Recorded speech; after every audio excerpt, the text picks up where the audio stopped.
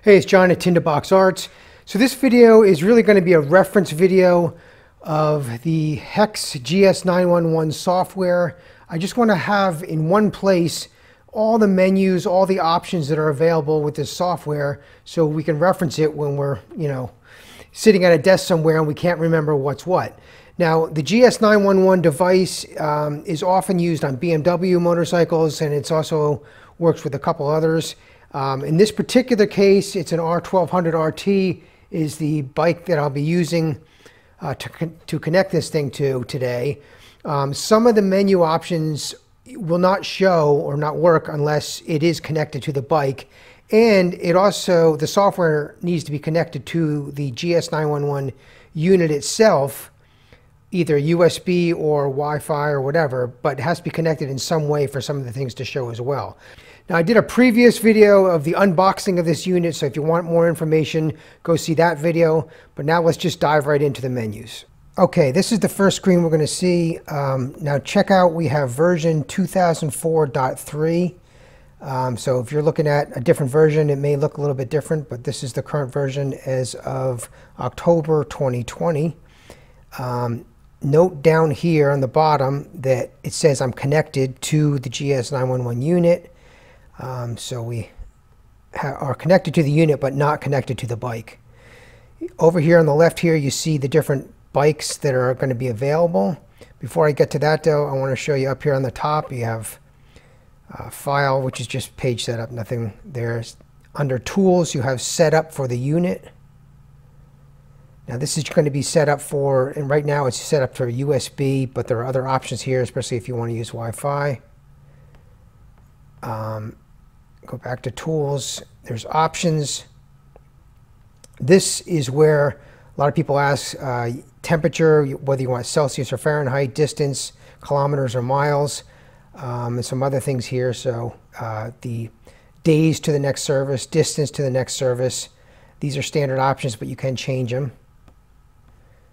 There's firmware updates if you need to update the firmware in the unit itself if you need help from them, these are the logs you can do and send them to them. Under the help menu, your license, online help, and about. And here you can check for updates. You can do an upgrade if you need to. And the VIN numbers associated with, because you only get, on this version, you only get 10 VIN numbers. Uh, so 10 bikes basically that you can use this for. So it will uh, record those VIN numbers there.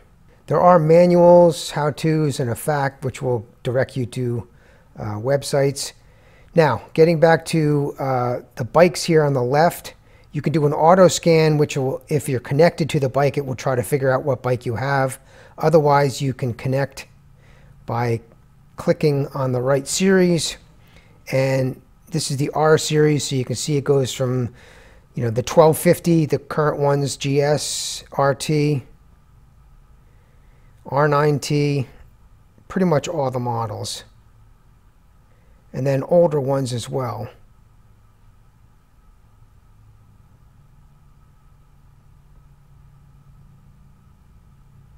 So they have a wide range of coverage here. The F series,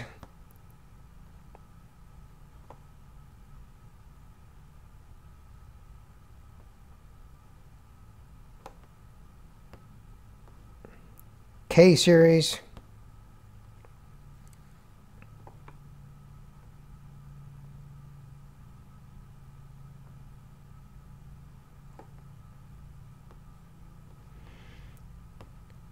G series, C series, you don't see those very often,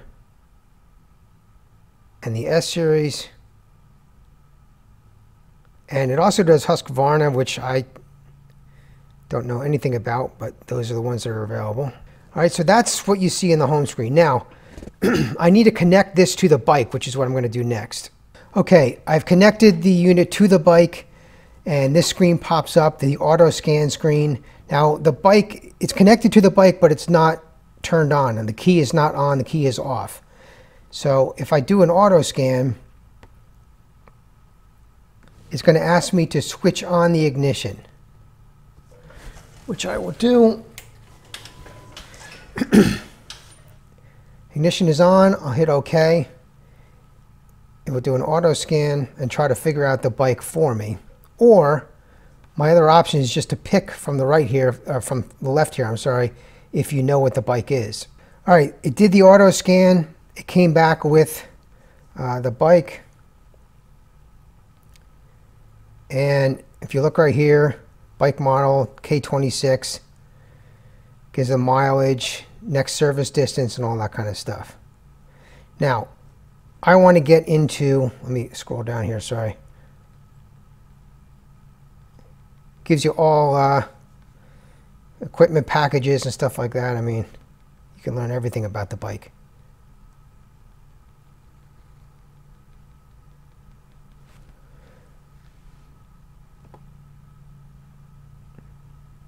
So all this information, if you ever needed it, is right here.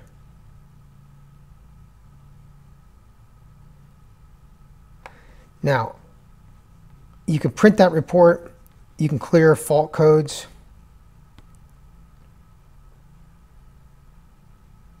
That cleared all the fault codes now that I know, I mean, I already knew, but now that I know it's a K26, I can go over here and I'm going to scroll down till I find K26, which is right here. Okay. I'm going to click on that. And now here are your options um, for, you know, scanning next. So you have engine, anti-lock brake, all these things here on the left. I'm going to start with engine. Here you can read fault codes, clear fault codes, and show real-time values and their service functions, right? Let me start with ECU info.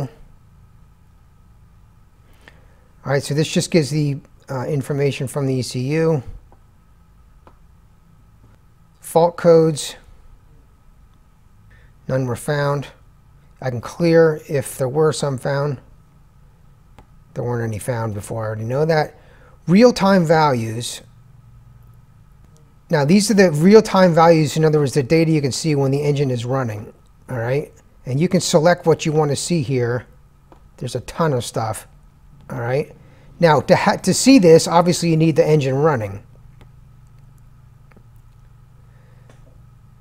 Right now the engine is not running, but if it were, we would see the real-time data here. And this is extremely useful when you're trying to figure out, you know, a problem, whether it shows a fault code or not. So let me just show you all these.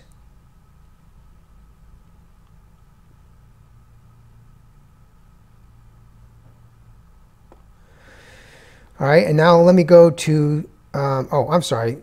There's stuff up here as well I should have mentioned. Um, you can see graphs.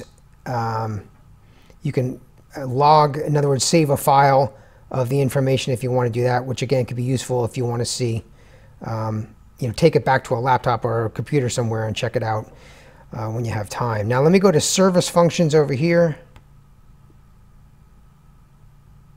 If you have the engine warning light, which is something people ask for, you can turn it off here.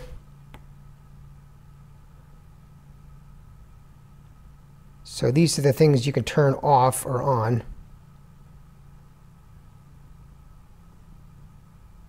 Now up here, I'm going to go, this is your tree here, so I'm going to go back to this. Now we'll look at anti-lock braking system. Again, ECU info, info. This is the ECU for the brake system, okay? You can read the fault codes. You can clear fault codes, just like before. Status. this will give you a status of, of what it finds here. If I go to output tests, whoops. All right, this is if, if you're bleeding the brakes and you want to activate the pump, uh, the ABS pump, I should say, um, in order to get all the fluid out, this is where you would go. You can do the pump motor activation, um, and you can get into more detail if you want. Let me scroll down here. So you can get into individual you know, parts of the pump if you like. uh, and run these tests. If I'm not going to do this right now, but if you start the test, um, it will electrically activate, you know, the pump motor and cycle it. So you can test to make sure all these uh, separate functions are working, a good pump. Now let me go to the ABS bleed test. And here, if I click bleed test the front brakes, for example, it will bring this up and you can see, you can read this, what it's going to do. So again, if you're bleeding the brakes, this is just the way of uh, cycling the pump to make sure you're getting all the uh, air out and, um, and making sure you have a good hydraulic system. All right, I'm going to go back to the main menu here, instrument cluster. Uh, again, you have instrument cluster, has its own computer. Everything has its own computer. All right, there's all the information on that. You can read the fault codes, clear fault codes, real-time values. All right, you can pick what you want there. Output tests. So you can test on the dash, all right, these all these items here. So if you're not sure if something's broken or not, um, you can test all these. Then there's a cluster test and you can uh, you know test the gauges, test, do a whole start self test. All right, let me go back again to the main menu.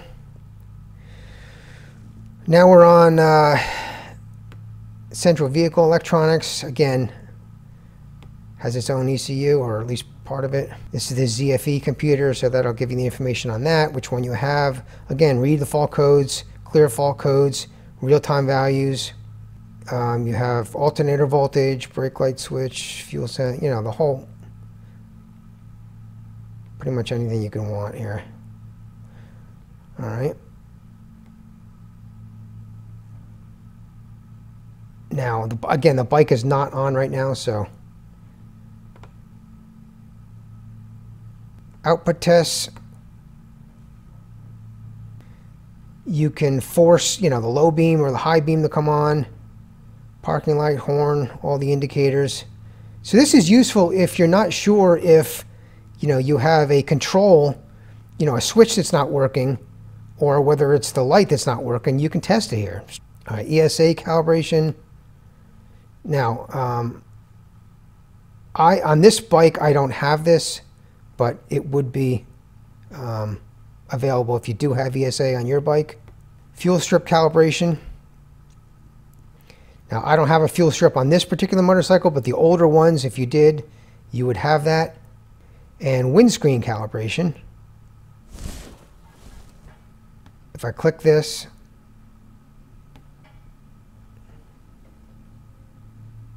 right now the windshield is moving all the way up. All right, so it calibrated the uh, windscreen so it knows what the, uh, you know, the, the two stops where they should be. Going back to the main menu again. All right, we have the alarm system. I do not have an alarm system on this particular bike, but just to show you.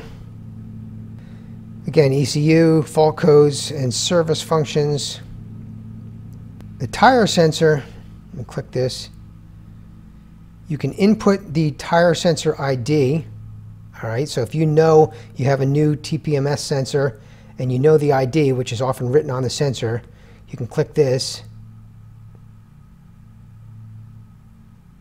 And you could type in the new sensor. Now I already have two sets of sensors. You only get two sets, that's all you get. So, Or you could just learn the sensor so it will electronically um, communicate with the new sensor. That's another way of doing it, but that's where all this function is. I'm going to cancel that. Now, oddly, this is a little weird, but if you go back here to the main menu, you have tire pressure monitor, which is what we were just talking about. And again, fault codes, real-time values. You can pick what you want here. It does have battery sensor state. I want to select all of them. This has your IDs right here, the ones that are installed right now, and you know, all the information about those you could want. Tire pressure sensor learning. Now this is if you're installing new sensors. Let me click on this. Notice it, it mentions you need the sensor wake up tool. I did a whole video about this, so I'm not going to cover too much of this, but check out that other video if you like. Uh, and if you need to learn new sensors, again, I already have four sensors installed, but if you need to learn new sensors, this is where you would do it. Radio, this bike does not have a radio, but just to show you, again, read fault codes, clear fault codes, and ECU info, that's all there is. Special functions. This is where the service reminder is. We can set the date and the service reminder. This is where you would set um, when you want the next service reminder to come on um, or reset the service reminder if you've just done your oil change or whatever and you want to reset it. So this is where you would do that.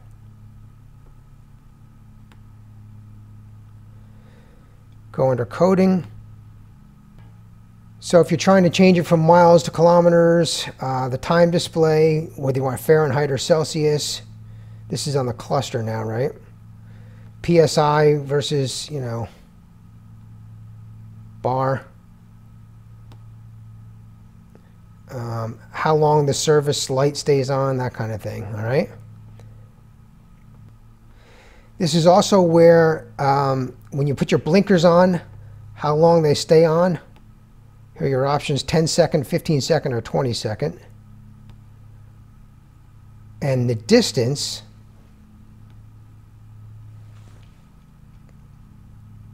so you can change that if you like as well.